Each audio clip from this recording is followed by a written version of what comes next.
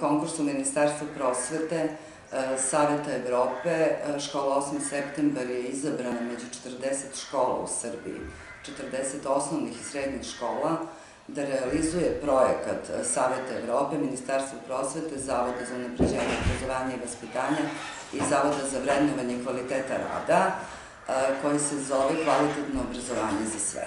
Zapravo ovaj projekat je nastavak pilot projekta koji je realizovan u Srbiji u prethodne dve godine i e, koji se zove posticanje demokratske kulture u školama. E, veliko nam je zadovoljstvo što je Komisija Ministarstva prosvete zajedno sa Savjetom Evrope prepoznala kapacitete škole koje godinama realizuje projekte i učestvuje na konkursima i e, dali su nam šansu i ukazali poverenje da realizujemo ovaj projekat. On se zapravo odnosi na demokratsku kulturu, na razvijanje određenih kompetencija kod dece. Mi smo već napravili akcijni plan za tri meseca, krenuli smo sa realizacijom tog akcijnog plana koji će trajati od 1. marta do 1. juna. Inače, ceo projekat traje dve godine, nakon toga nastavit ćemo sa svim ostalim aktivnostima.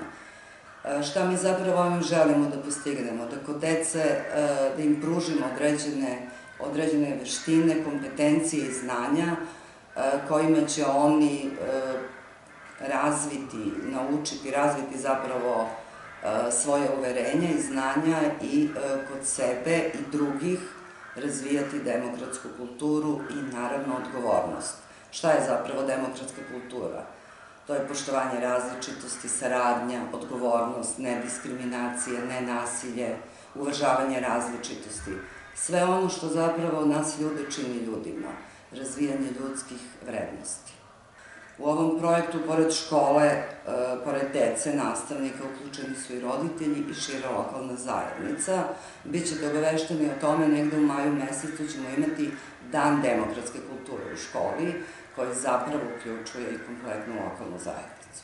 Kolika je vrednost projekta? E, što se tiče budžeta u ovom projektu, za razliku od ostalih, e, ne postoji budžet, tako da ćemo mi sobstvenim resursima i eventualno uz malu podršku lokalne zajednice realizovati projekat.